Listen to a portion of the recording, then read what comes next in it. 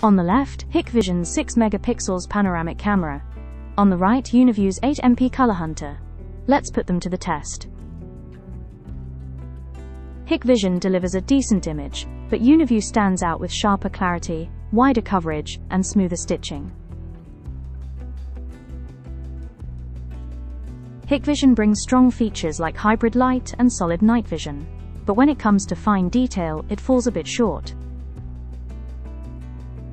In real-world testing, Hikvision struggles with glare and loses some sharpness across the frame.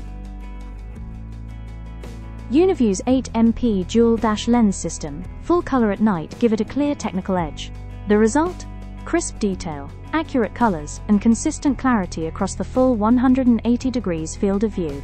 Uniview also offers up to 512GB onboard backup. Hikvision is good, but UniView proves to be the winner in clarity, technology, and backup.